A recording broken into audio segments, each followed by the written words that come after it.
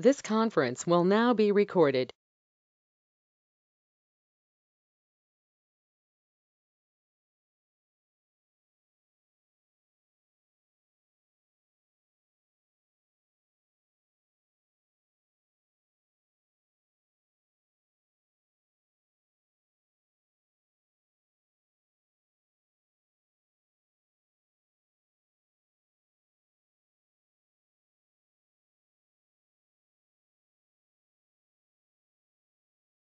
Hi all, a very good morning. Hi, good morning. I hope you guys are able to see my screen and hear me. uh, yeah,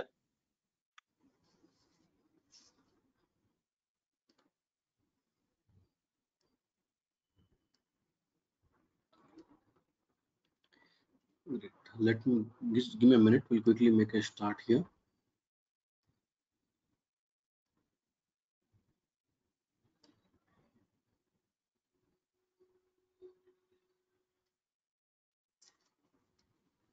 Oh, so before we make a quick start on what is cloud computing and what is the AWS and other things, just to keep it a little simple here. So if you have any queries at any point of time, please feel free to open up your mic and talk, or if not, you can also put post a message in the chat box and you can ask me a query. So don't hesitate to ask any of the queries in case if you have at any point of time. So we'll surely ensure to take care about all the queries that we have so you have both the channels open up. One is directly open up mic and you can talk. And another one is to put your query in the chat box. But don't hesitate it to do so because we are all we are all here to learn about something new and we may not be up to the mark. So as we come to learn it's okay to ask any of the queries. So do not hesitate or feel that i may get offended or what would other people think about my silly questions or things.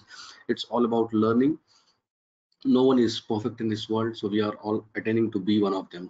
So making to a quick start here. We are going to talk about what is cloud computing first what are the different types of cloud models and then we are also going to talk about the journey of aws and the course content that we are going to go through. Before that myself pawan here and i have been in the it industry for more than 12 and a half years. I have trained more than 200 to 300 plus people across the different spaces in the world helping the people to get matured with aws and the cloud content. Just give me a minute.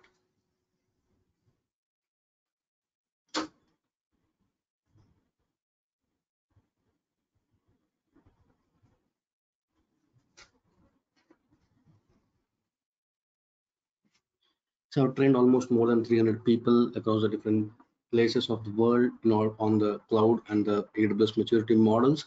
And i currently work as aws and devops cloud architect where i'm migrating the applications from the on-prem to cloud. So i also work with other clouds like azure and gcp as well but aws still stands out far apart when we talk about how the services are pre-built and we'll see through the, as in a part of our demo so at any point of time if you feel you are not able to hear or if there's any glitch in the video feed or the audio feed please feel free to let me know so that we can correct it. I hope all things look good until now.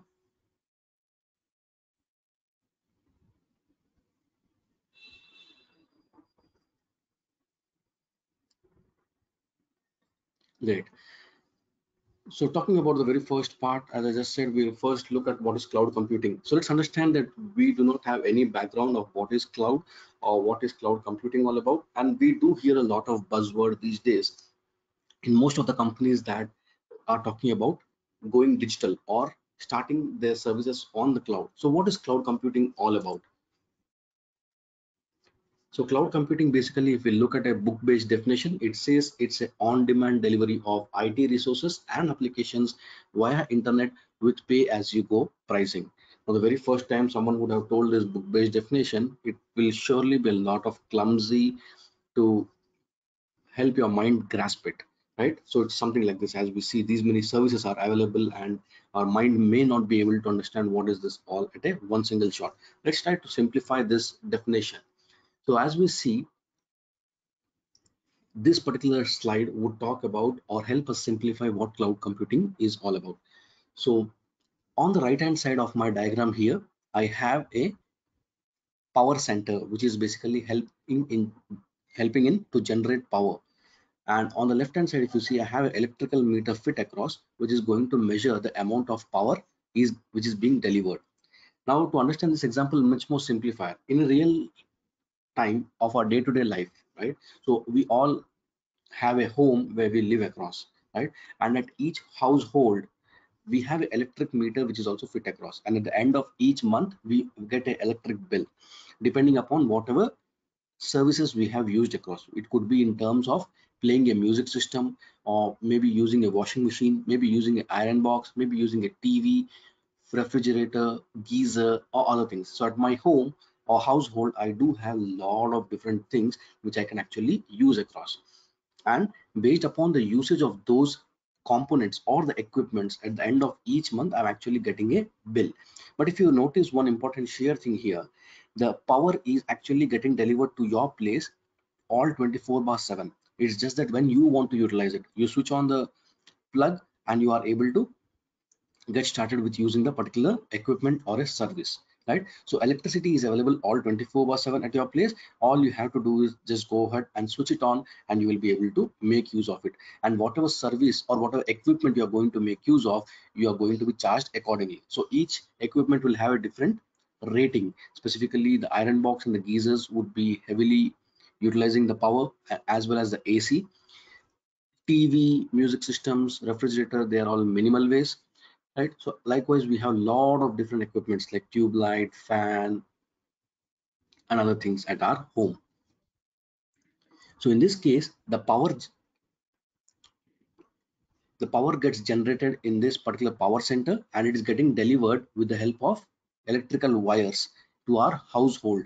And at our household we have different equipments which we are trying to use at any point of time as per our requirement.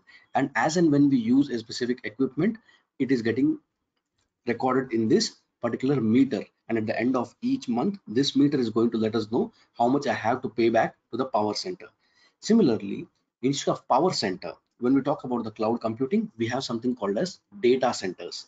Now, these data centers are actually managed by the companies like Amazon, Microsoft, uh, or Google, DigitalOcean, IBM, you name it. There are a lot of companies across in the world, but top three at this point in the world are Microsoft, Google, and Amazon.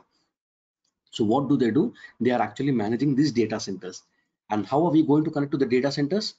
we are going to connect over the internet it's a wireless right so if you see here in this case connecting to power center we are using the electrical wires but connecting to a data center we are going wireless with the help of the using the internet similarly at home we are trying to use different resource equipments like iron box geyser tv fridge washing machine in the data center we'll be able to use something like virtual machine databases storage, networking, a lot of other components, right? So today we can understand that Amazon cloud itself has more than 3000 plus services across the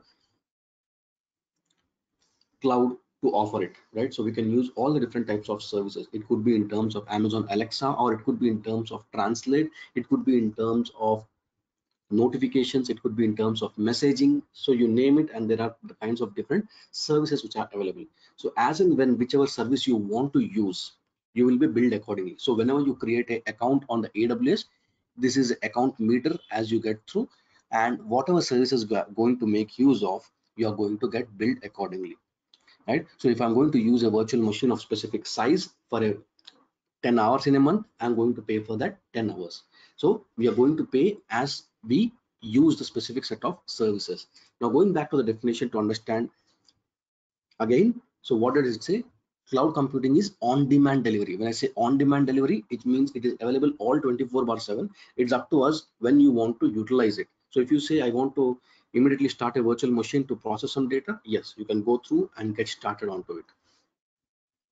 And if you say you want to get started with the storage space yes you can surely get through so it's on demand the moment you go ahead and log into a cloud account and say I want to use storage or maybe I want to use database, I want to create a virtual machine, I want to create a networking, I want to use messaging services, everything is available. It's just that when you require it, just go ahead and get started and use it. So here what we are getting on-demand delivery of what IT resources and applications. So IT resources are nothing but virtual machine, databases, compute, messaging, all these are IT resources and applications. So how are we going to connect via internet and how are we going to pay? Pay as you go pricing. So whatever I'm going to use, I'm going to pay accordingly on the basis of that. So now if anyone asks you about what is cloud computing all about, it's very simple. It's on-demand delivery of IT resources and applications via internet with pay as you go pricing. So always remember this electrical analogy, which will actually help you to understand the cloud services in a much better way. Like a power center, we have a data center. We use electrical wires to transmit the electricity. Here we are going to connect over the internet. And here we have household equipments. There we have IT resources and applications. Here we have an electrical meter, which is going to measure the amount of services that we have used. There we are going to make use of a specific AWS account, which is going to measure the number of IT resources we have used all across. That was about the cloud computing. So any questions, queries or doubts from any one of you until here? Or if you think I'm going a little fast, you can let me know so that uh, we'll slow down the pace and will be easier for you guys.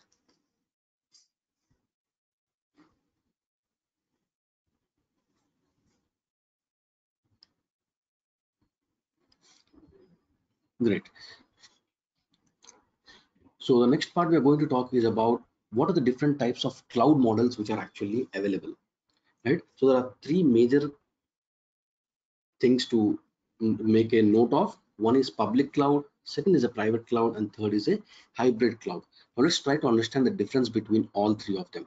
So if you look at this specific diagram here, private cloud basically talks about completely private, right? Which means no one else has any access from the outside world if you see. And if you talk about the public cloud, there are a lot of holes or the loops from which you can actually enter within.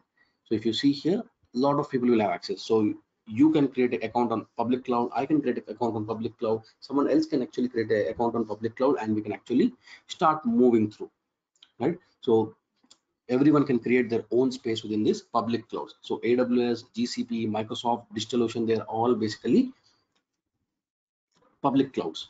And what is a hybrid cloud? Hybrid cloud is basically a combination of the public and the private clouds in this particular case. Now, if you look at it, this diagram pretty, pretty depicts how public and private clouds are merged together. To understand this, let's take one small example why this hybrid cloud comes into the picture. Now, surely, until now, a lot of IT companies have been trying to have their own private or the internal data centers right? And now they feel that they should move on to the public cloud for a lot of better reasons. So we'll talk about advantages of public cloud in few of our upcoming slides.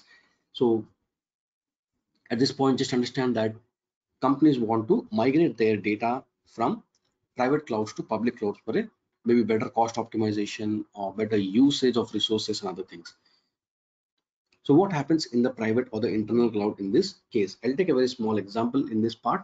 Just give me a second and open up the slide.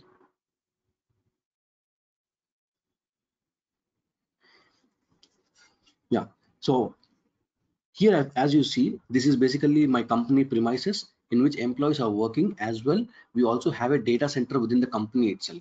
Now, if you see the company is of three floors, but maybe half of the floor on the top may be dedicated only for creating a data center within this company itself which will be used by it. So if it's a single place at which my company resides then having a data center within will also make sense because all the people who are working in the company will actually connect to the same data center which is within the same building.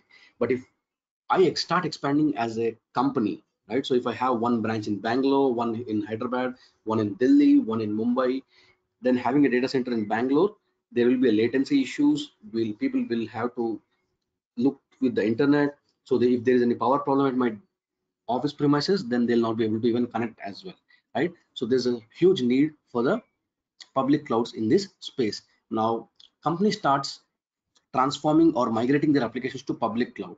So we understand that big companies have so many applications that they cannot transform it within a one day or so. It takes almost years together, right? So easily two to three years is what a migration timeline is given for the bigger companies so that they can transform the huge amount of data, whatever they're having in the on-prem to public clouds. So during that phase, so we may still want to have some connectivity between some of the applications which are already hosted on the public clouds with some of the applications which are already in the on-prem. So it could happen that I am transforming my web layer, but my database is still inside the private or the internal clouds, right? So I need a connectivity between my web application and the database. Or maybe this application is dependent upon some other application which is still in the private or the internal cloud. So during those cases, I would require this connectivity to be established and that is called as hybrid connection. Hybrid connection also means that you are trying to connect your public cloud with another public cloud. So as I just said, in my company, we use all three clouds, that is GCP, Azure, and AWS. So it does happen that we may want to transform some data from AWS to GCP or from GCP to Azure or from Azure to AWS. So in those cases, we need to have a hybrid setup, which means we are trying to collaborate on-prem with the cloud or a public cloud with another public cloud as well. So this is all called as a hybrid cloud setup. Next is about understanding IaaS, PaaS, and the SaaS. So these are the different models within the cloud. Now, how are the services classified within a cloud? So before we go there, any questions or doubts until here?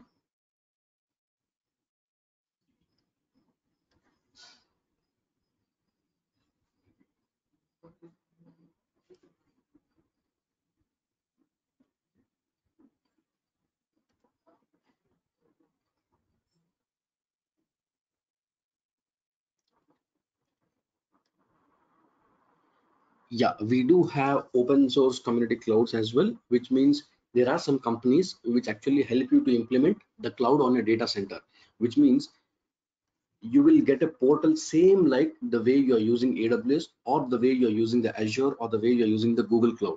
So for your data center they'll customize the complete ui interface and within the background they'll set up the networking cables all of them in such a way that you will feel that you're actually connecting to a cloud itself Yes, this is one of the first introduction class, Shekhar.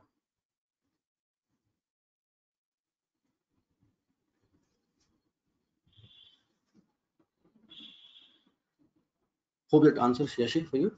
Okay.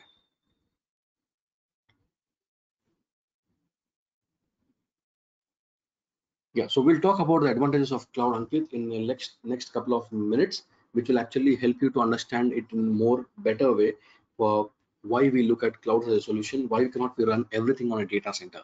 So we'll come to that point and that should answer your question.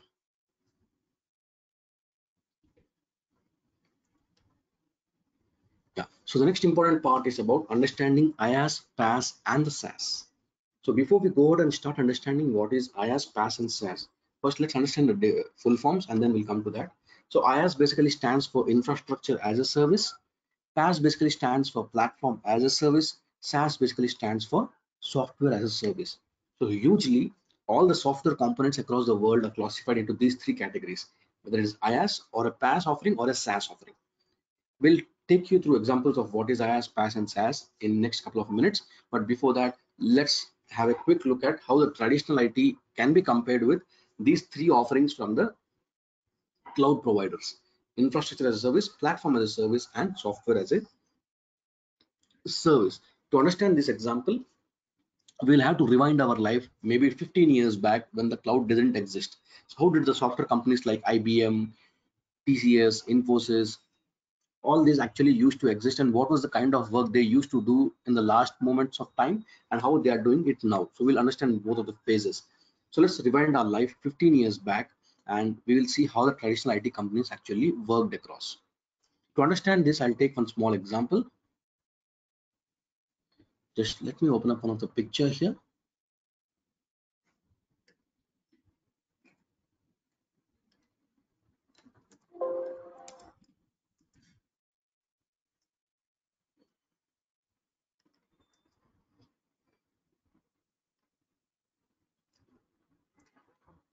So here I'm going to talk about this small picture where we see XYZ company on the left hand side and the ABC company on the right hand side. So what does these companies are talking about? So XYZ is basically a company which is actually known for manufacturing the automobile spare parts across the world. So it's basically a company which manufactures automobile spare parts and they currently have an offline market across the world and they have different distribution centers. Now they decide that we are so famous company why don't we start our business going online where people can directly order the equipments or the components which are required for their automobiles and immediately we will start delivering it depending upon the places where we operate from right? So in the first list of A1 countries, they may want to go online and set up their business for this automobile spare parts. So what they do, they actually go to ABC, which is a software company, to help them establish their online platform. So now they want to build a complete e-commerce platform from scratch, which will help them to start their new online channel. So they move to the go to the ABC software company. Now ABC software company has got some technical architects who will work out with XYZ company to understand what exactly is their requirement. So they first understand the entire requirement phase. So they say that we want to set up an e-commerce platform where we'll try to put across all the different automobile products and we want to also ensure that we have a payment gateway in place so that people can pay directly via their credit card and once the payment is received we'll start the packaging and then we'll start the dispatching of the product so there is a whole life cycle they want to put across as a online channel so ABC company reviews the entire requirement and then they say that, okay, we'll get started with it. But for that, all of those things, we will require some components. As I said, we are rewinding our life 15 years back, right? So how the data centers used to traditionally work at that point of time. So ABC company usually doesn't have so much of infrastructure to start for the XYZ company. So they will say that we will require a database where we can store all the transactions that are going to happen on online platform. We require storage because your automobile spare parts maybe many of them and each automobile spare part will have to take at least five to six images right? So if you see through flipkart and if you go to any of the uh, product you can see there are four to five images of each product so that it will give you a fair understanding of how the product looks like. So here again for each and every automobile spare part we'll also need to have four to five images from a different angles and the per view. So we need to store all those images. So we require a storage as well. Then we require virtual machines so that we can run the entire website which will be serving the end users. And we require a networking component so that we can create a small network with database storage and the virtual machines. So this network can be accessed only by this company and abc developers and for the outside world it is only open up as a website. So that would be the networking model that we would like to put across. So as i just said since we are going to rewind our life 15 years back the abc company may not have all of these components or even if they have they do not have the bigger in size right? So what they do so they'll say that this is what your requirement will suffice with and in order to get started we will have to first purchase the equipments which will be costing around thousand dollars. Because we want to start with a small to develop a prototype. So we'll take some set of machines some set of networking components like routers switches and the storage boxes like hard disks. And for the database we may have to purchase a license from oracle or the microsoft sql servers right? So all of these things happen in the background. So for that initially we may require thousand dollars to purchase the equipments and the software costs. And then the abc company will have the developers who will start building the software. So for that again they'll charge a next amount that will be maybe let's say 2500 dollars to build the software. And once the software is built surely the no software would within a first single shot will be a full uh, bulletproof. So what we'll do we'll have to maintain that software because we may get some issues. So payment gateway fails. So what happens? Now who is responsible? So bank has to give back the payment or the xyz companies online platform has to first find out whether the transaction was really unsuccessful and other things right? So we really need a support team or we also need to ensure that our software we are going to maintain it in a very well way so that we can find out what are the failed transactions where is the error coming out how to fix those issues and other things. So again for maintenance and enhancing the software we'll have to charge thousand dollars. But if you see in this entire cycle my developers didn't start the work until there was a sign off between xyz and the abc company. Until we purchased the equipments once the equipments were purchased again we need an administrator who needs to set this up. So it will easily take three to six months of time in which we get a sign off in which we, we go ahead and purchase the equipments and then we set up all those equipments in a specific place right? As i just said we are rewinding our life 15 years back. So we will have to set up these equipments in maybe xyz's data center or maybe in the abc software company's data center itself. So we'll have to set it up somewhere and then my developers will be able to start the work so we can see that it usually takes minimum three to six months of time where it is actually going to help the xyz company to get started with so how can we reduce the time to market or uh, before that now let's go back to understand the difference between the IaaS, PaaS, SaaS and the traditional IT.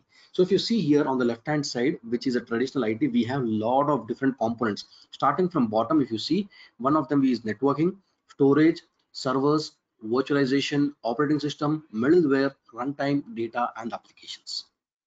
So if I talk about starting the development work in this case, right, the first thing I require is networking to be set up, right? So I need to have a separate networking environment within which only the developers of ABC and XYZ company will be able to access this platform. Apart from that, for outside world, it's only exposed to HTTP and HTTPS protocols because it's a website. And inside the networking, I need to set up components like servers and the storage, right? And on top of it, I'll start installing the operating systems. But to create operating system, what we do, we are creating a virtualization layer. So with the help of virtualization layer, the good thing is just with, with just one single click, you can say whether you want a Windows operating system or whether you want a Linux based operating system. In Linux also, which is that RHEL or a Ubuntu or a SUSE Linux or Sun Solaris, whichever you want, with just one single click, you will be able to get it through.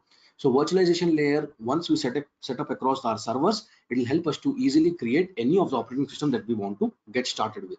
And once the operating system is in place, now my developers can actually start building the application. They can start adding the data. And then finally, if the things succeed, we are going to run the application as well.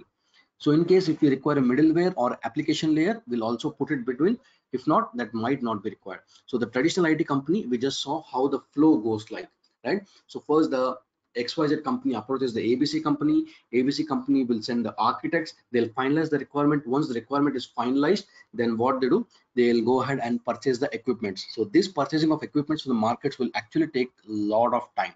The reason being because some companies are very good in building servers like IBM and HP. Some companies are very good at storage like Seagate, Western Digital, Kingston, and all those things. Some companies may be good at databases like MS SQL and Oracle. So we have to involve multiple vendors to purchase the equipments and each vendor may take different amount of time to deliver these products. And until then, my developers in the ABC company will be sitting free doing doing nothing at this point, right? So how can we actually ensure that things can be much more smoother? That's where we look at a cloud as a solution. So in, in the cloud, the first thing, important thing if you see is infrastructure as a service. So here, if you are a technical architect who understands that I know what server to be used, I know how to configure a database, I know what networking environment has to be preset and how can it be developed, then infrastructure as a service is actually a solution for your question. So in this case, you can see I don't have to manage networking. I don't have to manage the storage, neither the servers, neither the virtualization, nor the operating system. As a technical architect, once the ABC company and XYZ company are in sync saying that we are ready to develop a software, I don't have to go and wait for the purchase of equipment. Straight away on the cloud, I can get started saying that, okay, let's develop a prototype on a Windows server or maybe on a Linux server. I'll tell my developers and immediately they get started. So you can see here, three to six months of time, which usually takes for us to purchase licenses, softwares, and set up the entire theme is all reduced. So immediately I can get started with a very small machine and then ask my developer to build the application, store some sample data, run it across and show it as a prototype. And if that prototype goes success, then I can, I can build it on a large scale. So here in this case, even if the prototype fails, I just pay for the amount of services that I have used for maybe a couple of weeks together, right? So at least I'm sure here that even if I fail, I'll, I'm just going to pay that small amount. But in this case, if I fail after six months or one year of del after one year, if I fail across in the delivery of my project, then the entire project will be scrapped. There's a huge loss of money, huge loss of resources, and the other things. So with the cloud, time to market is going, going to get less. My developers are much more efficient. My teams are much more efficient in working as well. So that is from the infrastructure as a service point of view. So if you are a technical architect who understands what is operating system, what is a database, what is a networking environment should look like, then infrastructure as a service is a good solution. Let's say you are just a developer and you get a small client who will ask you to develop a website and get started for him. Right. So now you don't understand all of these things. What is the operating system? What is a middleware?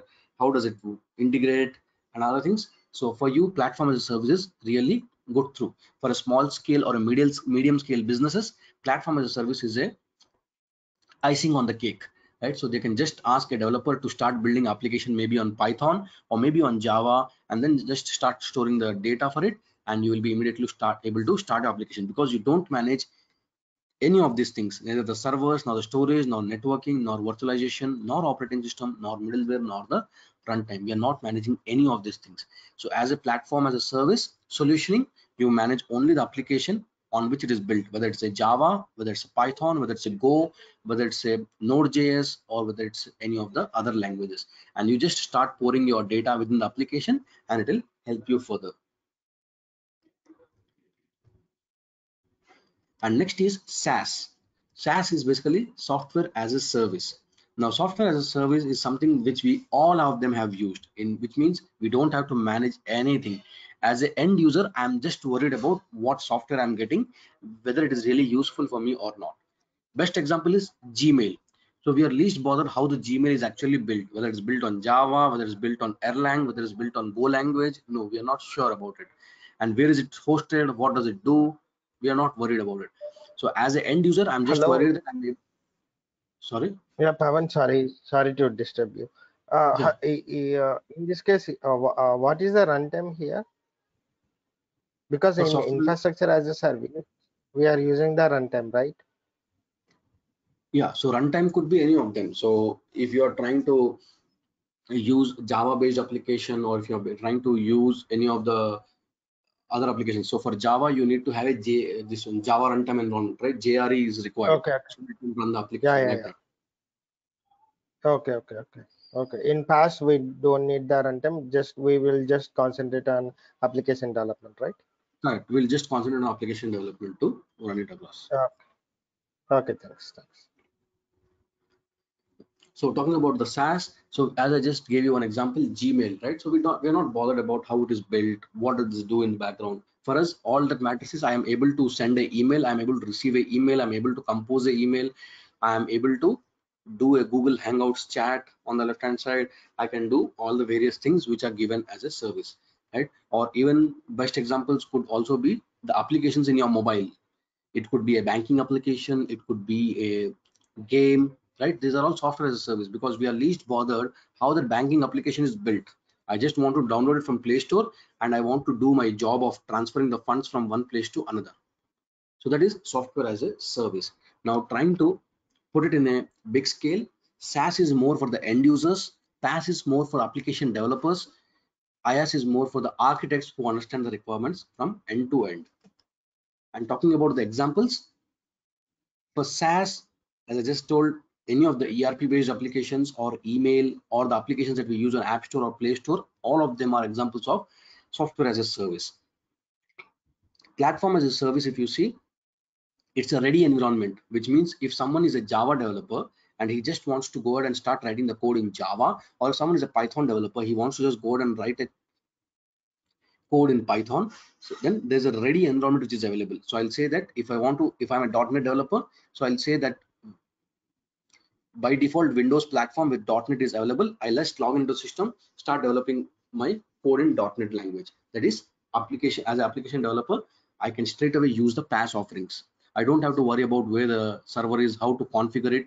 Don't worry about it. Everything is pre-configured. As a developer, I just straight away log in and start writing the code for the applications. And for the network architects who understand the platform end to end, right? So most of the large scale companies will have the architects who will deploy the solutions from end to end because they want to design their own networking components. Then they want to ensure that they are able to choose which operating system to start with, whether it's a RHEL or Ubuntu or a Windows based or what kind of software they want to build. So even the softwares also they'll build customized softwares using the Java developers or the Python developers and other things. Right. So IaaS is more for the people who understand the things from end to end and can design it well. So that was difference between IaaS, PaaS, and the SaaS, and with the traditional IT offering, right? So with the traditional IT offering, we just saw one major disadvantage. It takes a lot of time for things to get started. Also, my application developers are wasting time from three to six months without any work in this case, right? So those are the two upper edges that we get started with the cloud platform. And in this slide, we basically talk about how we are going to get started with the cloud. So if you see on the left hand side, I have my company, which is having a, its own data center and I have enterprise A, which is one of my companies in US or one of my companies in India, that is enterprise B, and they are all now connected to the cloud because I'm started my migration work. So some things still exist in my data center, but some more things I am trying to put it in the cloud. So you can start putting in the cloud like Amazon, AWS or Azure, which is from Microsoft or Google Cloud Platform, or maybe the IBM Cloud, or maybe we have many more providers like DigitalOcean, Rackspace, Alibaba, and all of them, right? So there are a lot of vendors available in the market, but as I just said, AWS is still a market leader among all of them.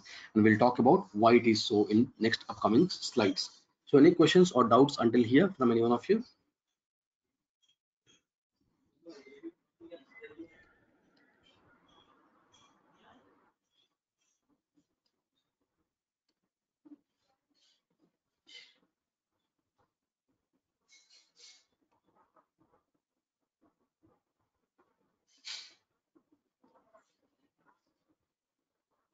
Any queries from any one of you? Uh, yes, I have one query.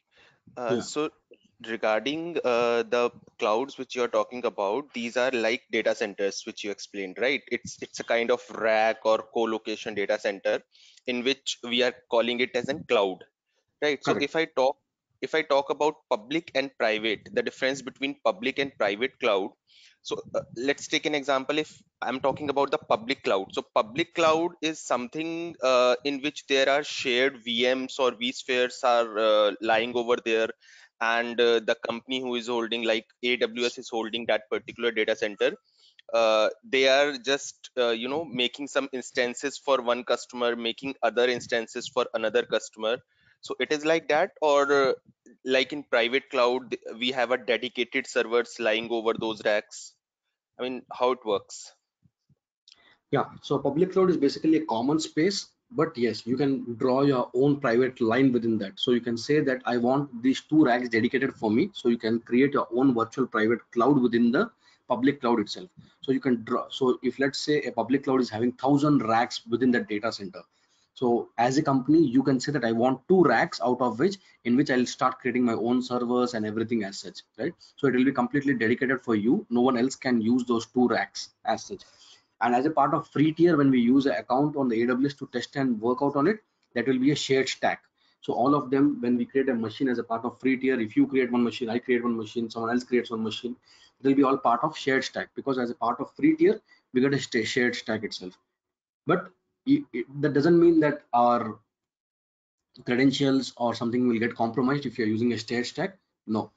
During the shared stack also all you have to do is just ensure that you put the proper security guidelines across whatever you're spinning up. Nothing would happen to it. Or but within data center also there's no connection between the two machines who can steal the data between themselves. That doesn't happen. Okay. Thanks.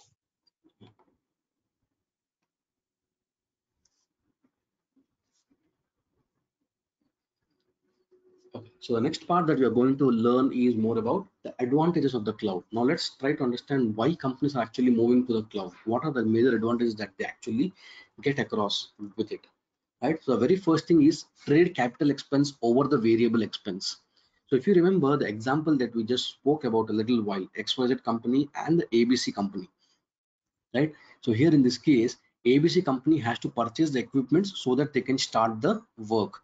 And initially to purchase the equipments also, it's going to take some time and my developers are sitting while sitting doing nothing in this case, right? So we can understand that we have to pay salaries to the developers.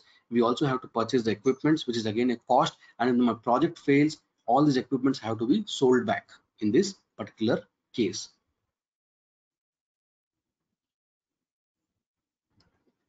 Right. So we can understand that it's actually initial cost, which will be like a capital. So I'll have to ensure that my application developers are getting paid every month on month until the project starts, until the purchase equipments are being purchased. And also for purchasing the equipments also, I need a cost in at initial level, right? So all these things would be a huge one to go with. In a cloud, as I just said, you can start with a very small machine. So if the project gets signed off between ABC and the XYZ company, I can ask my developers to immediately go ahead in the cloud account, spin up a very small virtual machine, develop a prototype, and if my client is happy, I'll start the project at a large scale, right? So I'll have to just waste a little money. It is variable expense. So the very first advantage that talks is about trade capital expense for a variable expense. So I don't require a huge capital to get started on for the cloud. Second is benefits from the massive economies of the scale. Now to understand this particular point, let me give you one small query. So if you go to a market today to purchase a hard disk of one terabyte, how much does it cost? You can put your comments in chat box or you can open up the mic and talk. How much do you actually pay for purchasing a hard disk of one terabyte from a market?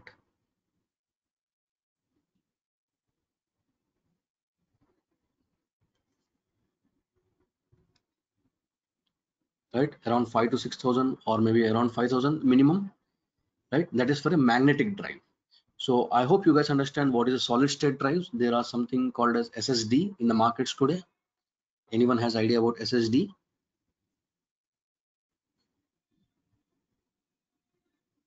those are uh, persistent disk with high IOPS.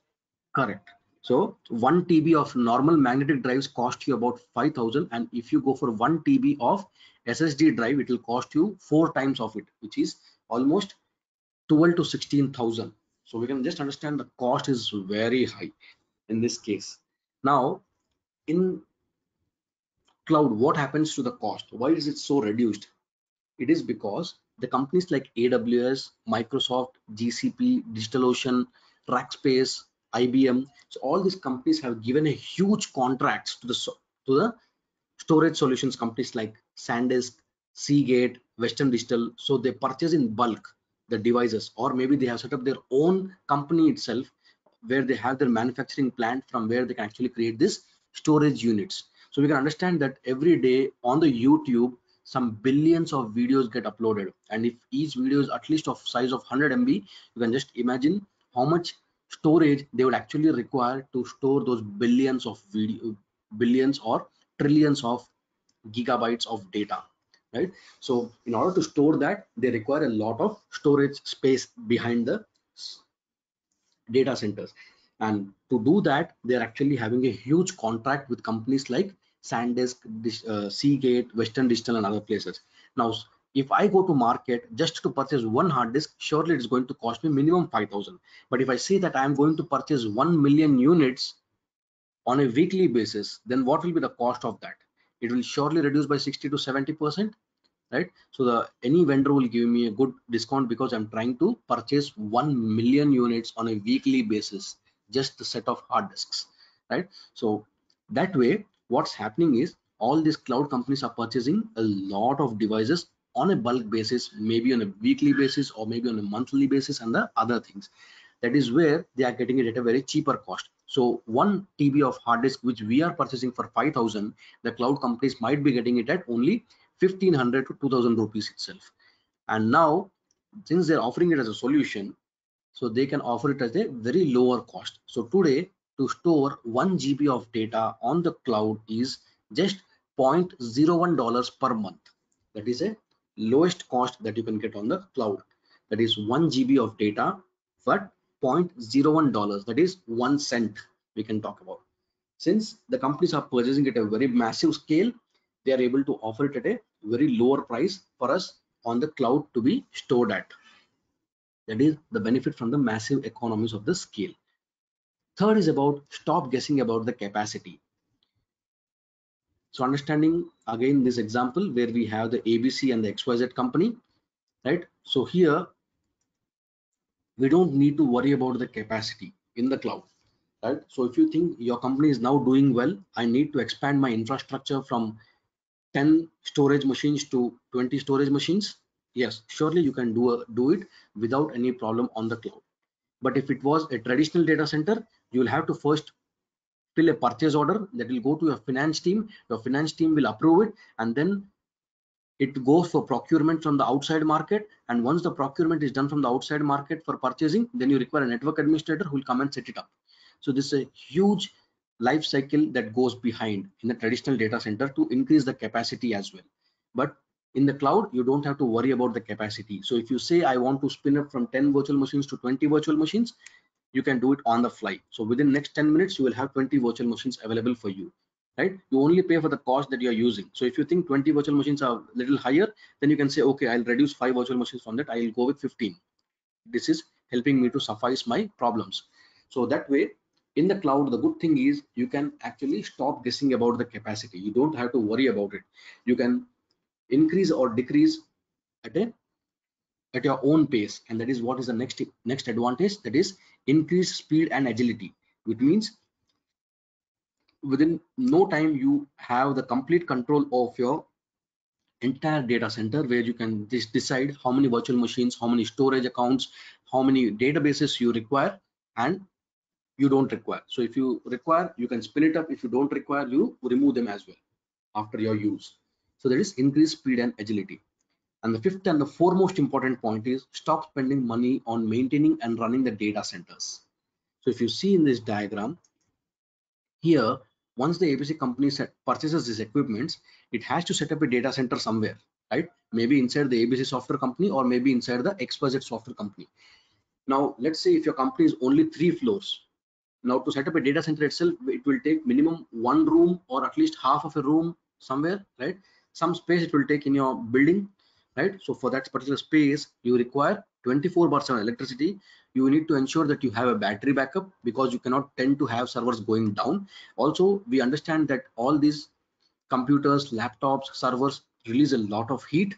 So you require ac as a cooling equipments. And then you require a security guard who is looking onto it 24 bar 7 so that no one can come steal the hard disks or server from your place right? So you understand that there's a lot of money which is involved in all of this from talking to electricity to cooling equipments to security and to also the land space that is being required to set this up. Right? Apart from that we also understand that today if i purchase a laptop it might be a brand new but after two or three years it might not be the same way. Because today I might be getting an i7 or i9 processor, but after three years, then there may be i15 or i17 processor, which at that point of time, my laptop would be an outdated one, right? So surely same happens in the IT industry. So if you see through, all the companies usually have a policy that within three to five years, they try to replace the laptops of their employees because they understand that the laptops might have got slow because of the outdated technology right so same happens with our mobile devices today we purchase one mobile device maximum we'll use it for two to three years and we see that android is progressing from version 3 to 4 to 5 and now it's 9 version 10 is already in beta phase and once the version 10 goes live 11 will come into the beta in the, in the meantime right? So we understand that technology advancements are happening at so fast that our hardware is unable to cope up with the new software requirements right? So snapdragon 630 which was there earlier will not be able to run android 10 or android 11 you surely require a good processor which can support it. So surely we understand that with the technological advancements there are some limitations with the hardware as well so over the period of time we also have to upgrade the servers right? So again that is a cost to your company. So three years you will use it good but again after three years there is a dead cost. Or you have to give them back to some other company or sell them off and you have to purchase a new product again. So spending money on running and maintaining a data center is really a tough job. With security guard in place, with 24 bar 7 electricity, with backups, with cooling equipments, with security guard, and to also ensure that your servers are renewed every two to three years or maybe at least four years in worst case, right? So all this is a cost to a company, right? And in the meantime, if you lose a project from a company, all of them is gone. So you also pay for all those things. You lost a project, you gain nothing out of it. So with the cloud computing, you don't have to worry about all these things. So if things are working well, you put it on the cloud. If it doesn't work, your project is gone. You will shut down the entire things in the cloud and you come out of it, right? You never owned any of your any of the equipments from that, right? So that's actually a good benefit we get.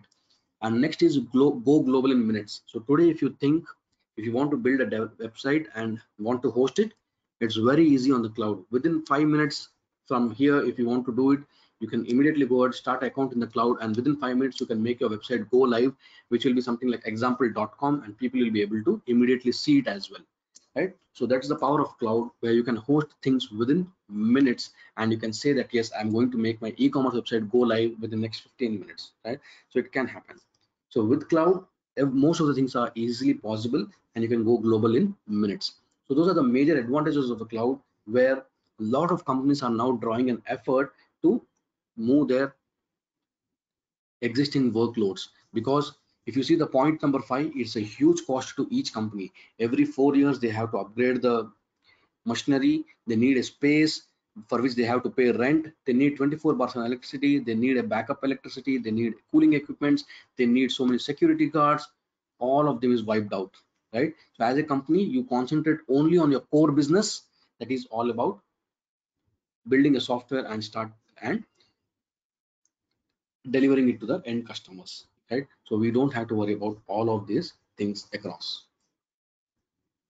So that was about the advantages of the cloud. And now we'll talk about why aws and how it has grown as a one of the best cloud providers over the years together.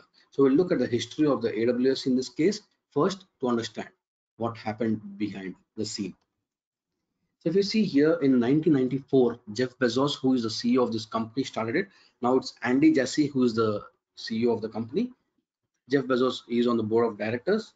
So Jeff Bezos was the one who started this company at the initial phase in 1994. And at that point of time, they used to go door to door in order to deliver the books. So initially, Amazon started only with delivering the books, and even it was not even an online platform.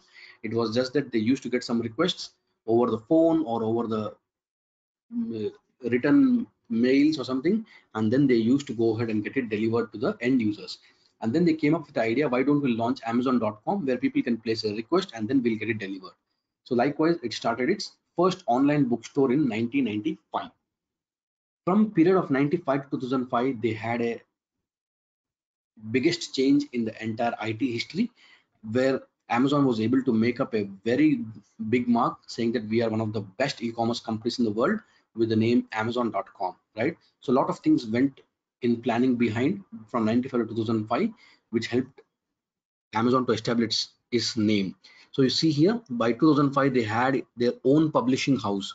So the authors can come to amazon get their book written and published here and it can be sold on amazon itself right? So if it's your own publishing house you will give the rights of selling only to amazon. So this way amazon was making a great business. Apart from that they also started selling some of the electronic equipments right? Not just the books but they also started selling the electronic equipments components and other things. And then they realized that every year on year they have something like black friday sales they have cyber cyber monday sales and other things right? So they realized that during that particular sales period they are actually they're actually getting a lot of advantages like uh, in terms of heavy number of orders. So on a normal day if they're getting 10 orders or 100 orders on a day of black friday or a cyber monday sale or on a thanksgiving they are getting almost 10,000 orders. So you can imagine 100 orders and 10,000 orders. So it's already a thousand times more traffic or 100 times more traffic than a normal day. So during that period amazon realized that their existing data centers are not helping them to suffice the need. So they actually went ahead and purchased a lot of equipments, servers, storage spaces and everything, in order to ensure that the cyber monday black friday or the thanksgiving day sales go very smooth. So that's when in the 95 to 2005 we saw that amazon was able to purchase a lot of servers behind the scene but they were used only for maybe two months maximum in the month of november and december because if you see the us is always having the festivals during this periods. That is thanksgiving cyber monday black friday christmas and the new year. But in india we can see that it's having at every month on month. Maybe we'll have sankranti in january shivaratri in second month holi in the third month ugadi in fourth month. Then again in june july again we'll have starting with akshaya tritiya and then going on with ganesha festival then diwali and other things. But at us if you see they only have few festivals which are limited to november and december or january max right? And during those periods they have heavy sales. And for those heavy sales amazon has invested heavily in the infrastructure. And then they realized that those servers are not utilized for the 10 10 months altogether or 9 months altogether. So it was adding a lot of cost to the company. And then internally a committee decided within the amazon.com that why don't we sell those servers on a rent basis when they are not used for our purpose. And that's when in 2006 officially amazon web services was launched only with virtual machines and messaging as a service. So only two services were available initially storage not even virtual machines only the storage and the messaging. So in 2006 initially when amazon web services was launched only two services were available storage and the messaging. And after that what we see was a history right? From 2006 until today amazon has been a leader because it was it has evolved so much during the period of time that its services are very mature when we compare with gcp and the microsoft the services are still not as matured as what aws is able to give. So if you talk about the serverless categories if you talk about developing a mobile applications or if you talk about satellite based services all of these are very much matured in terms of what amazon is offering today when compared to gcp and azure. And that is what makes amazon a clear efficient leader in the entire market. Because if you want to start with the amazon cloud you want to be ensured that whatever product you are going to use whether it's a virtual machines whether it's a storage whether it's a database it's fully matured. It's very easy to use across and immediately get started with. So with azure and gcp there are some glitches there are some round and round figures that you go through to get started with right? But with aws it's very simple interface and easy to get started with. And also you get a free tier for up to one year on the aws of course with azure and gcp also you get it but with azure you get it only for one month and after that it becomes a paid account and with gcp also you get it for one year. But gcp doesn't have a lot of services like oracle database is not available yet and you don't have serverless functions very well organized on that. So there are a lot of things which are not available on the google cloud and that is where amazon makes a lot of path for new companies to set their cloud accounts onto and we can see that on the top amazon is now working as a separate company and aws is working as a separate company. Of course the whole entity stands with the name of amazon but amazon.com is an e-commerce company and aws is basically a software it company right? So in 2011 if you see here amazon.com moved its entire e-commerce infrastructure to the cloud. And that was one of the most complex changes across because amazon.com itself is one of the complex e-commerce website and today if it was able to move to aws in 2011 that is when a lot of companies realized that we can also move our production workloads to the aws cloud. And that is when the cloud bubble burst across in 2011 and we can see through in the last one decade in last 10 nine years how much the cloud has actually evolved and where every company is today talking about shifting their workloads to cloud So that was about the history of AWS. So any questions or doubts until here from any one of you?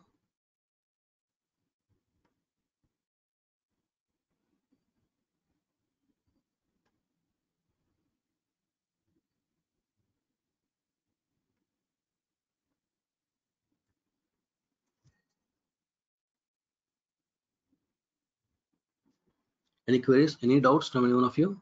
Guys can put it in chat box to let me know if you have any queries or if you or else you can also open up your mic to ask me any kind of questions until here.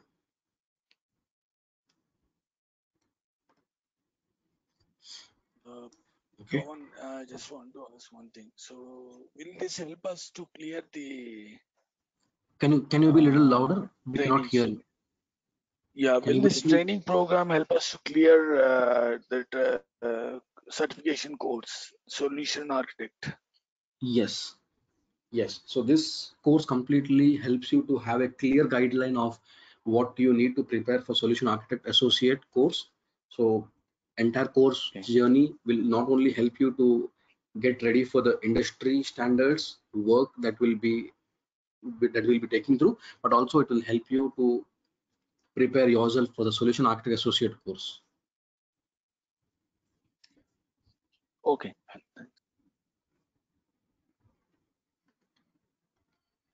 Okay, so the next thing is trying to compare our core infrastructure with AWS. So some of them who are already from infrastructure background will understand this slide very well. If not, it's also okay. We'll take you through a background here. So for any cloud or any company to get started on the cloud, the basic services that are required are storage, database, servers, networking, and security. These are the five basic services that any company would look for. Today, if any company wants to start migrating their workload, they'll first ask, do you have these servers available? Windows server, Linux server, or do you have the databases like Oracle, MS SQL, MySQL, PostgreSQL, right? Or do you have the storage space which is unlimited? So if I want to host something like YouTube on the cloud, is it capable of handling it, right? So those are the some things which we may want to have a question with AWS or any other cloud vendor. So these are the basic services like servers, storage, and the database. On top of it, you want to ensure that your network is completely private. So you would like to have your own networking environment. And on top of it, you will ensure that security is the priority, right? No one should be able to attack your servers, steal the data or anything as such. So we'll see how, what are the services in traditional infrastructure and what is the comparison service available in the AWS for that. So from security point of view, we have firewalls that we use in traditional infrastructure. We have access control list, we call it as ACL. We have administrators who are sitting across to see that who is granted access to what services and other things. For similar reasons on the AWS, we have security groups. Firewalls are otherwise called as security groups in this. ACLs become NACLs, that is network access control list. And then we manage the access of every user within the IAM, that is identity and access management. So within this, we are trying to manage every user, what is the level of access he is going to get across. Next, from the networking point of view, here we see that in a traditional infrastructure, we have something like routers, switches, pipelines, racks, layers, and other things we have to purchase from the outside world. But in this case, you can create a own virtual private cloud, which is called as VPC, right? Virtual private cloud. And to balance the load, so if you have heavy loads from the outside world, people are trying to access your machine, you will like to put across behind the elastic load balancer. We call it as ELB, load balancers. And next is on-premise servers.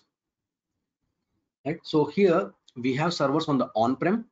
Here what we are trying to do, we are trying to create an image. So image for Windows is already available. Image for Linux is already available.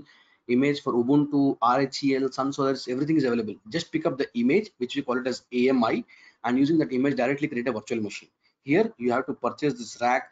Inside each rack, you'll have some servers. You have to connect it with the power using the routers, pipeline switches, everything, and then you will be able to switch on a server. So it will take a huge time. But here directly with the AMI, create a virtual machine, get started with it.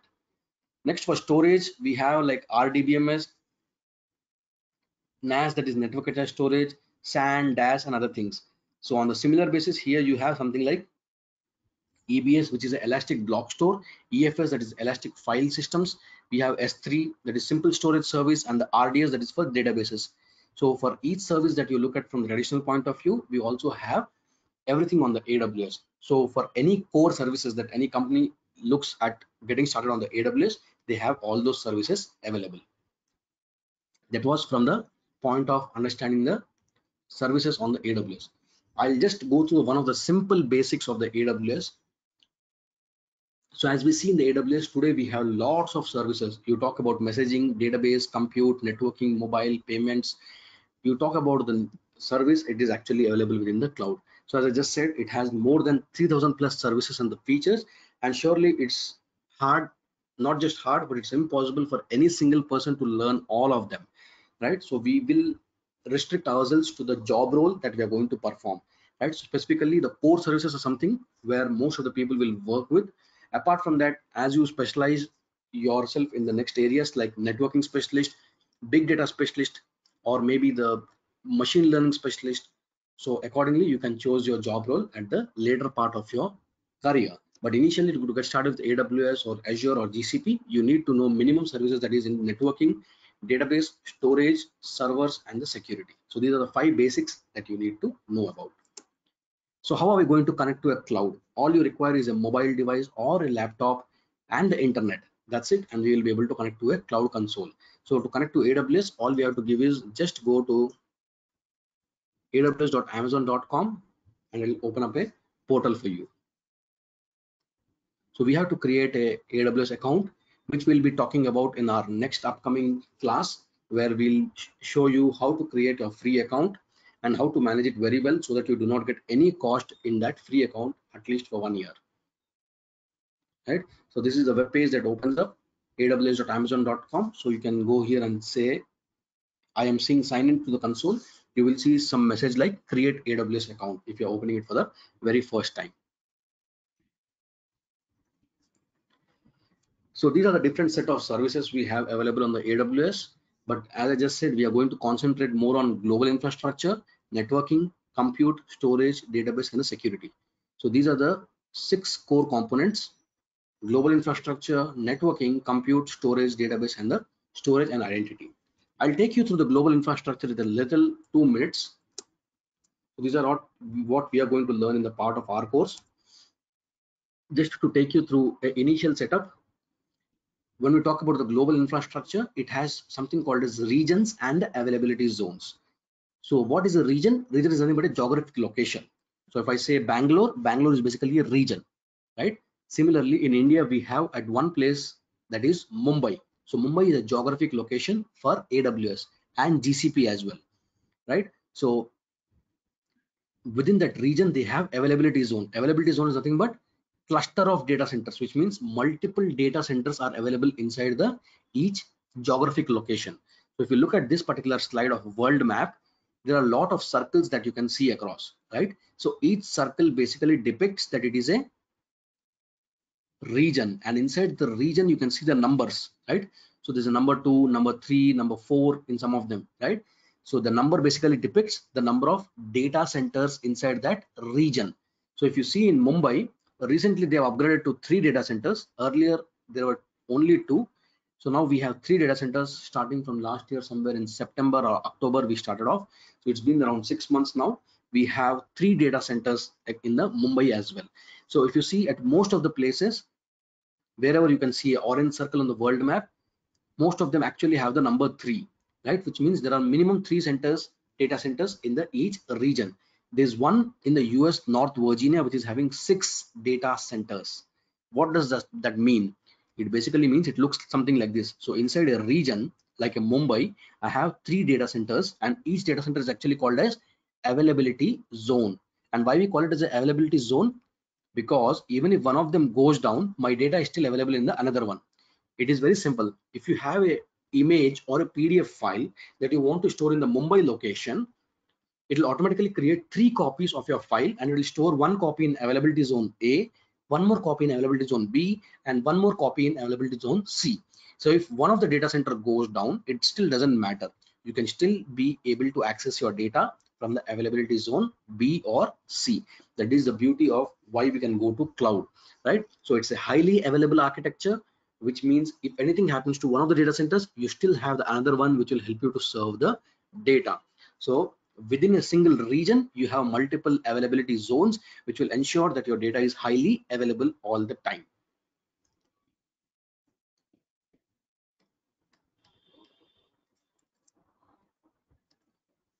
So if you see this example as i just told you north virginia is having six availability zones. So this is how the naming convention goes like us east 1a 1b 1c 1d 1e and 1f and for asia pacific tokyo since this is in asia it will start with AP that is Asia Pacific Northeast because if you see in the world map it is on the northeast part of the world map.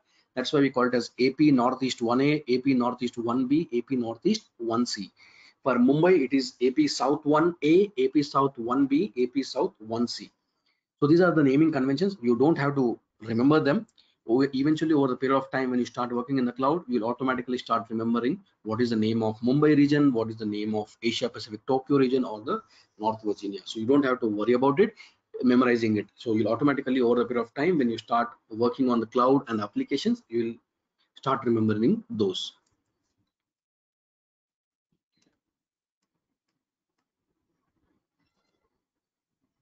So to talk about these are the set of companies from the different places who are working on the AWS cloud today.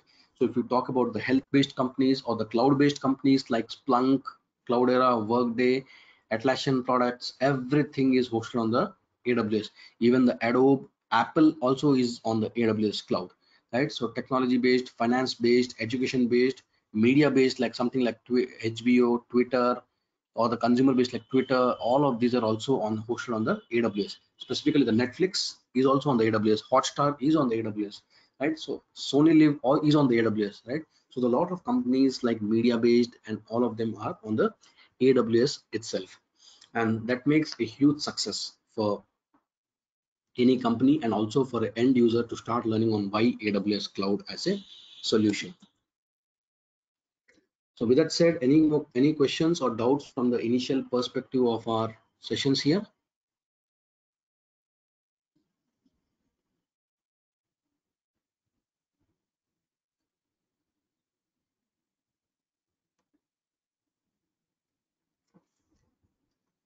So I would like to make one small thing clear here.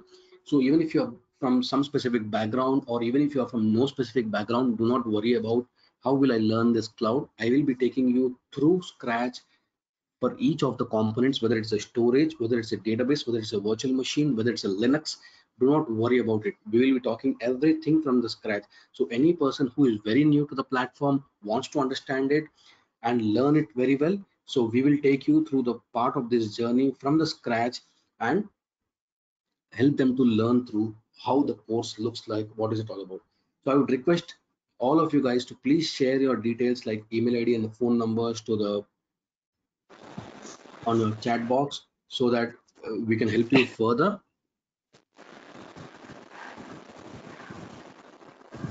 Yeah, this is Uh, Yeah.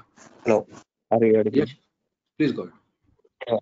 Actually, I'm a Java developer. My company wants to do the certification associate uh, next month, so that is the deadline for me. So I'm new to the this one AWS. Could you did a help? Uh, this training is help me. Yeah, so our our training is chalked up for six weeks. That is like every week we take five hours. So my training will go on for 30 to 35 hours. So looking at the graph line, five hours per week, we take it up to six to six and a half weeks. That is the course timeline we go with. So where we talk about each and every service in detail, what is storage, what is database, what is virtual machine, what is Linux, because some of them may be very new, they don't understand what Linux is. Some of them may be very new to database, some may be very new to networking environments, right? So we Basically, I'm a backend developer, so that's what I'm telling. So Yes. whatever services you are teaching in this course, uh, those will be covered to the certification. Hmm. yeah so whatever will con- go to the content as a part of our course yes surely it is it is very much helpful for any of the certifications like aws solution architect associate or maybe the aws solution devel- aws developer. So for developer we are covering almost 80 percent of the course content 20 percent little more differs here and there Uh, okay. These uh, daily morning sessions are nine nine Yeah, o'clock. uh, h- hello, Pawan. yeah it's a morning schedule every day from 7 to 8 or 8 to 9 in the morning depending upon the user's feedback that will be given to visual path team we will have that setup being done And uh, by when we will start these classes? And uh, what is the start date? So mostly i think since today we had a first session mostly we are targeting from monday to get started with so monday is, the timeline we are looking forward with so request you all to please please share the details of your email id and phone number to on the chat box so that it will help us further to plan the schedule and we should be able to have a quick start on monday or tuesday depending upon the number of people who will help us, uh, who will get started with. Right. So we'll have to plan accordingly. Yeah. Yeah. So if you guys have uh, already done, Hello, Bhavani. yeah, please, please go ahead for your queries, please. Uh, yeah, uh, actually, I'm into uh, Google Cloud. Okay, I'm mostly working in uh, uh, IaaS. Okay, like creation of uh, VMs, uh, taking up the snapshot snapshots. Okay, Mhm. and uh, using those snapshots, we will uh, you know create an uh, DR instances like that. uh, But I don't have any exposure into other other services like PaaS or you know storage services. So uh, uh, actually, to my uh, why I'm uh, learning AWS means I just want to have a hybrid cloud knowledge, you know, multiple cloud knowledge. So I am in bit uh, confusion uh, whether I need to go up with uh, Azure or uh, AWS. Which one you will suggest? Because uh, I don't know. Because already since I am into Google Cloud, Google Cloud, I know the basic funda, but I don't have exposure to other services except you know creation of VMs only. Okay, so if I want to learn some uh, servi other services and get, uh, a good exposure, so I just want to take some. I I I thought to take uh, some other uh, cloud like is Azure or AWS. Which one you suggest uh, in down the line, which would uh, help me uh, to have a you know multiple cloud knowledge in my resume. Yeah, surely I think yes, multi-cloud knowledge will be the takeaway for after some years together, not immediately today, but yes, multi-cloud will always be a great skill to have in the period of time. As I just said, I started my multi-cloud career only last six months back. Before that, I was working only on AWS, but today my company uses all of them, and I need to be learning all the time to understand what is GCP, what is Azure as well. So to say, get started with any one of the cloud would be great. AWS because it's very simple, sophisticated, and easy to learn through. So once you understand what is a storage, what is a database, what is a virtual machine, then learning other clouds should not be a problem, right? So if you start learning with a cloud which is not that mature, you will not understand that concepts, right? So if you talk about the specifically the networking components, the way the databases are being designed in the AWS, that's awesome when compared to what GCP or Azure is offering. Because as a CTO or a CFO of any company, I would not propose my database solutions on the Azure because they still do not give me any ability to create the database within a VPC. That is within my virtual private cloud, I cannot create the database as a PaaS offering. I have to create as a database which is outside of the VPC. I can just create a VPC endpoint. So surely there are a lot of drawbacks when compared with Azure and GCP. But to get started, I would say AWS would be the awesome place to be with because it's very simple, very easily set up, very sophisticated. All services are very matured and you can get started very easily as well. But yes, over the period of time, not today, but after three or four years, yes, multi-cloud will surely be a kind of skill that companies would look for because some things are good on Google like Kubernetes. So our company uses Google Cloud only for Kubernetes. And in terms of Azure, it is more for PaaS offerings. So our company uses Azure only for PaaS offerings and more of the things we do on the AWS itself. But still, we need to interconnect all of these clouds because there's some data flowing from one place to another. That's the reason we need to have that hybrid setup being done across all three clouds. But to get started, AWS will be a good place to go with. Okay, apart from uh, Kubernetes, what are the uh, you know uh, uh, mm, offerings you will use in Azure? Because uh, uh, there is a, app engine functionalities there in Google Cloud, right? As a yeah, so in. Google, yes, in the Google we have the app engine, but there's no beat the way Microsoft gives the app service plans, right? So there's no beat to that PaaS offerings. Even Amazon doesn't have a great uh, product like what app service plan Microsoft does give it.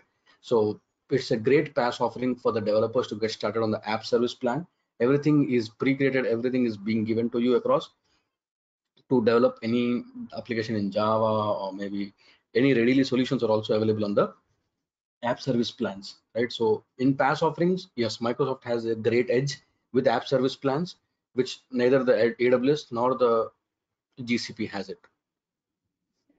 One more thing in GCP, we have for uh, big data, we have uh, to, uh, different storages like Bigtable, BigQuery, like that, right? So in uh, in AWS, do we have anything like that for storing the big data? yes we do have a lot of things. So big data and other things we have a lot of analytic tools and other things.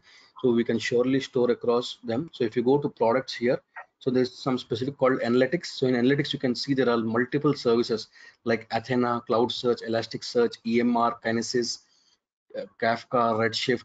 So these are all the tools which you can actually have a setup with.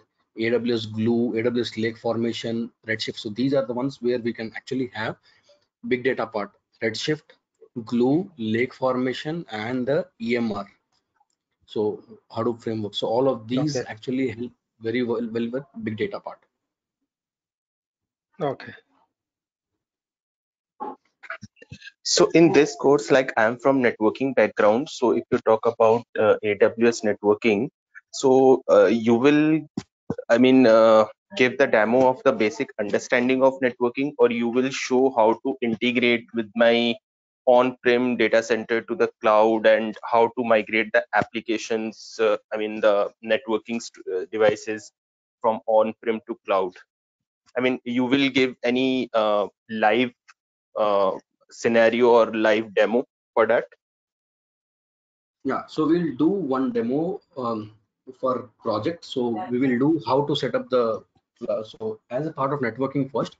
So i'll teach you how to create your own virtual private cloud how to set it up Mhm. what are the important things from the point of consideration of route tables subnets and then gateways what are those how do we how do we do appearing and other things. So about connecting from on-prem to cloud we'll have to see if we will be able to cover it up in this course. So if the time permits, we'll surely do it because there is actually part of professional course. AWS Professional Solution Architect is where we actually learn about setting up the point to site, site to site VPN connections and other things. But provided the time, we'll surely do that labs as well here. But basic part of networking is what all we cover in terms of creating your own VPC, subnets, route tables, gateways, peering, all of these will be covered and understanding from security point of view how we are going to set up a firewall nacl and other things so these will be part of our networking we'll be covering up Do we cover uh, in, uh, do we cover uh, on on-prem uh, server migration to AWS cloud? yeah Or so at least terms not, of, yeah in yeah. terms of the migration i'll be talk taking you through one database migration of the real time and second one would be about we'll do a one final project at the end which will be talking about how to integrate all the services right? So whatever services we are going to learn using all those services we are going to build one application overall. That will Okay, give you that I understood, but but mainly in interest they are asking the uh, you know the procedure uh, for performing the migration of on-premises uh, uh, server to you know in uh, aws ec2 like that. Okay, so that is the main that is a generic question. It happens, you know, in every interview they will uh, ask for migration only. Correct. So for that, what we'll do is, see, uh, as as I have been through the AWS journey for almost four and a half years now, so I can I can give you a better scope of answer for this. So initially, I started my career as a AWS solution architect. I used to work under the Cloud Center of Excellence team to develop the POCs and the solutions, and then I moved in as a DevOps engineer. So entire automation part actually works with the DevOps. So I will give you a quick overview about the DevOps. So DevOps without any cloud knowledge is also a waste one because DevOps has a lot of tools like Jenkins, Terraform, Puppet, Packer, Ansible, Vault, you name it. There are a lot of tools that comes into the DevOps culture, right? But to learn those tools and implement it, you really need to have a cloud knowledge. So what we will do is at the end of the course, I will give you a quick overview and idea about what are the DevOps tools, what is the next level you need to see from this course that is going to help you further right? So i'll help you with what are your day-to-day job functionalities what you should answer in the interview from this part of course how to go through for the next level. And there are some things that you'll have to work hard because some things whatever i'm going to teach in this course i would like you guys to go ahead and automate with the help of cloud formation scripts. That is where that first part of the devops will come into the picture. So i'll give that as a task so that you guys learn what is a cloud formation. I'll give you the basics of cloud formation at the initial level. So you can start go start going ahead and start developing all the cloud formation modules for whatever we are going to do as a lab right? So I'll expect that you guys can go ahead and start doing that labs with the help of cloud formation scripts so that when you go down to attend the interview, you can say that how you were writing the cloud formation scripts to automate the entire model of cloud deployments, right? So that is the expectation from an interviewer. And that is also a task that will be given as assignment for you guys when you enroll in this course.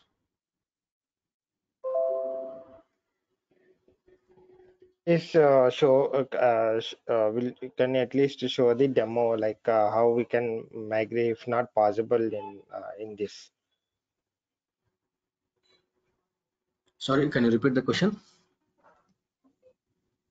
can you show can you show a kind of demo like uh, you know how we will do the migration from on-prem to cloud okay?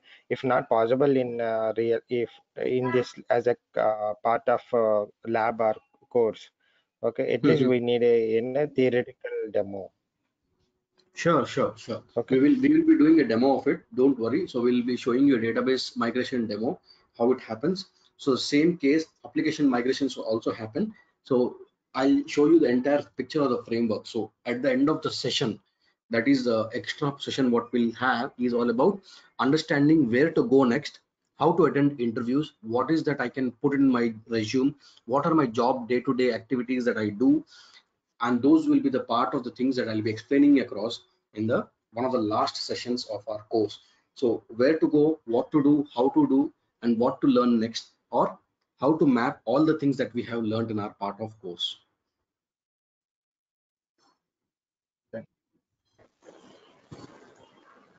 And will you cover uh, cloud formation as well? So cloud formation basics will be covered. So expectation will be whatever we do on the console, you guys take it as assignment and start doing it. So at any point of time you're stuck with assignment, I am surely there to help you across. So I'll take you to the basics of the cloud formation, how to build a sample scripts, everything will be given. But end of the day, once we complete any lab, maybe for Route 53, maybe for database, maybe for virtual machine, that will be assignment that you guys have to develop a cloud formation script and you can submit it back. Okay. Will you help on that? Yes.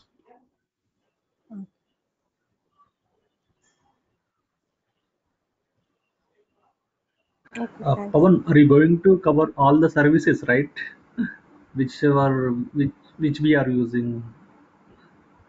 Yes. So most of the basic services that we are using in terms of virtual machines, in terms of database, in terms of storage, in terms of uh, Lambda, in terms of networking, security. So these core services we are going to cover it Oh, up. okay. Is there any course content like that? Are you going to share? Yes. Yes. So maybe in the next particular session, I'll be sharing the course content, or if not, you guys can get in touch with Visualpath team as well if you want it. So they can mail you the course content as well. Uh, currently, I just changed oh, my laptop. In this laptop, I do not have one to showcase you, but you can reach out to Visualpath team surely for the core content to get immediately after this call. okay. Okay. Thank you. And Pawan, will you explain some real-time scenarios? Yes. Okay. So with the examples like uh, what are the requirements like that? Yes. Yes. Okay.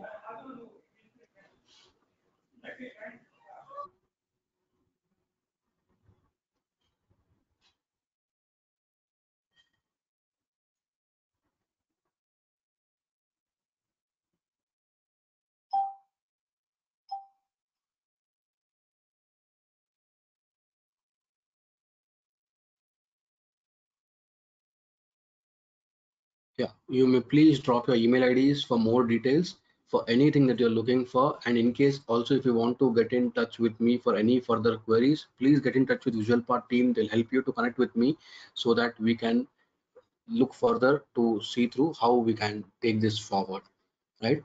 So earlier we have more connections. We'll be able to get started this course maybe by Monday or Tuesday in the morning batch from 7 to 8 or 8 to 9, depending upon your feasibility.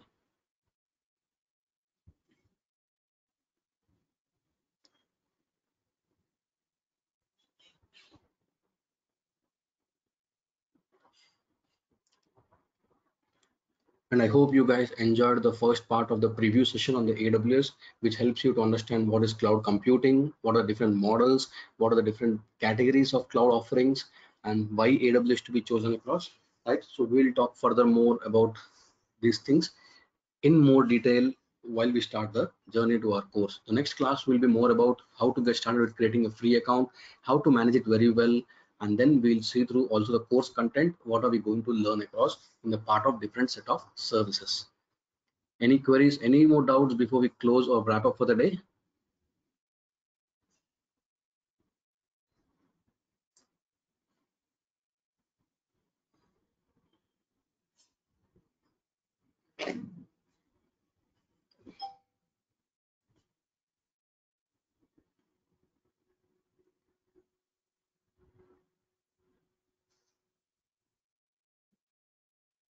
okay i'll take that as no and thanks a lot for all of you taking a time on a weekend to attend this session i wish to see you most of them on board on for the sessions and we'll have a great awesome journey on the cloud with aws thanks all have a great time great weekend and we'll meet back again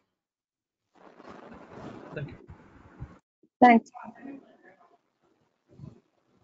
Oh, thank you, Pom. Right. yeah, thanks all Thank you, Pawan. thanks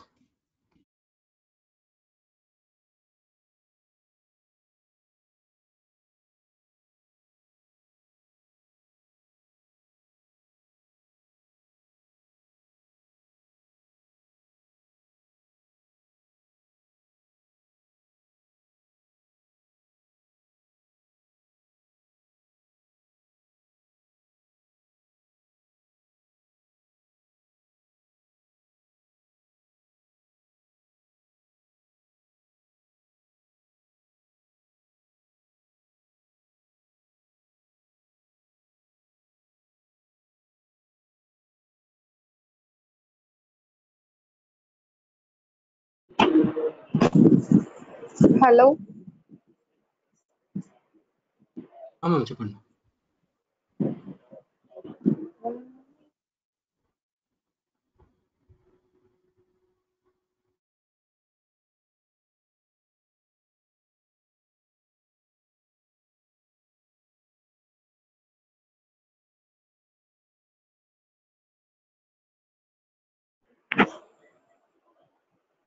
Hello. Hello. Hello. Uh, please share your details in chat box for more details about training, start date and all.